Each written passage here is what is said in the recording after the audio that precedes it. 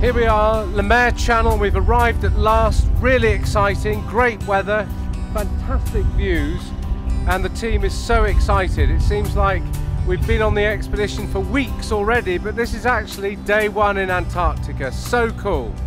I think Antarctica is a place that you can't describe in words. It's, it's a place that you describe from your heart. Got tears of joy at the moment. I've waited five years to come here, and I am just so happy it's beyond words. How do you describe something so beautiful, so grand, so, I mean, just amazing?